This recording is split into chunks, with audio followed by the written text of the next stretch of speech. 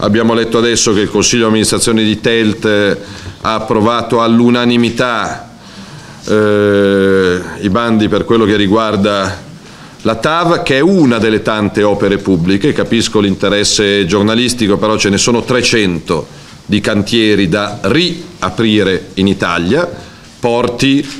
aeroporti, ferrovie, metanodotti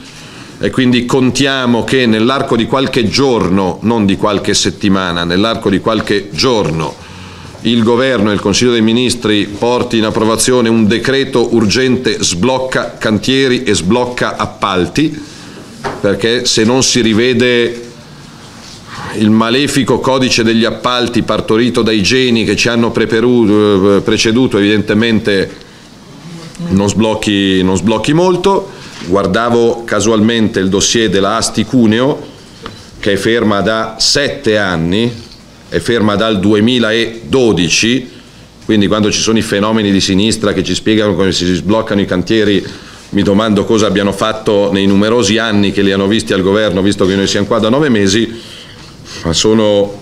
convinto che, che si sia sulla strada giusta e mi sembra dalle dichiarazioni, oggi anche il Presidente del Consiglio Conte in visita in Veneto, evidentemente è un'area